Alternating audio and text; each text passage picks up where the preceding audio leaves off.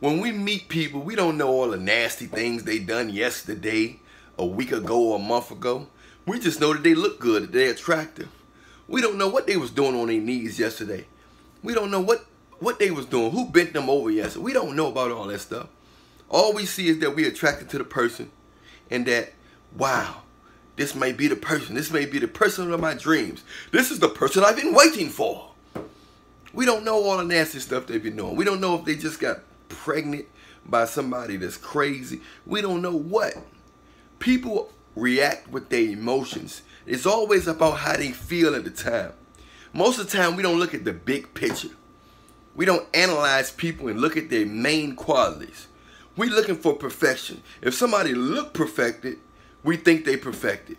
If they look good on paper, we think they perfected. We don't never consider the heart.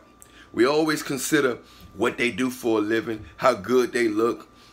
Um, do they agree with me? We don't know if they agree with us or not. If they quiet and just shake their head, laugh or smile, we think they agree with us. The real times come when all the newness wear off. People small talk for three weeks, three three months, sometime a whole year. You never really ask nobody no real questions.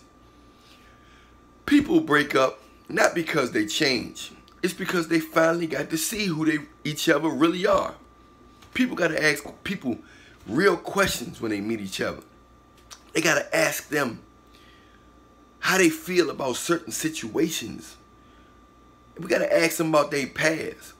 They always say, my past don't concern you. Yes, it do. If you're pregnant by a guy from last month, it's going to affect me if I'm trying to get with you if a man just caught an STD from a from a from a woman and he about to do something with you and you may not be requ- you may not require him to put on no rubber. You know what I'm saying? That's going to affect you. You may be a kisser and let you might want him to kiss you and you don't know where he put his tongue last night. We don't you don't know. You don't know. You got to consider the big picture, which is health. You got to consider their heart health and a mental state and their attentions. Just because I have a good job and I look well, I have the type of job that you always wanted your man to have. It don't mean I can have kids. You may want kids. It don't mean I can have kids. It don't mean I I am good with kids. It don't mean that I'm not suicidal. It don't mean that it don't mean that I don't have a temper tantrum. It don't mean that I I'm not a womanizer. So many times we worry about the superficial stuff, but we don't consider the heart and the stuff that really matter and it's really gonna make a relationship last. You're gonna get used to my looks. I'm gonna get used to your looks. The only thing that's going to keep this relationship new is my true love and intentions for your well-being. All that, what I do for a living, I, I can provide everything for you. But it's not going to matter if I don't have the love enough to give the attention to the kid we about to have. The kid going to be crazy because if I, if I neglect them or abuse them or something like that, they're not going to be right. It's not all about paper thin relationships. Most of you guys have paper thin relationships.